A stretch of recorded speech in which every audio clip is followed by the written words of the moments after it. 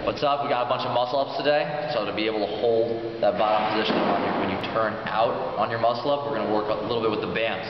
Take your hand, just up through the band just like so. Yeah, I'm, I'm catching on. That's a, a catchphrase for me to say just like so. I'm start using it a lot. Put your hand over, over the band. Wrap your fingers.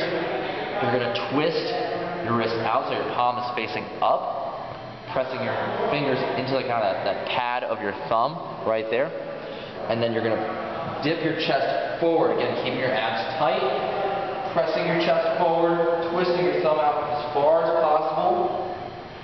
You should be able to see that you can get a little bit of external rotation on that hand. All right? Good luck.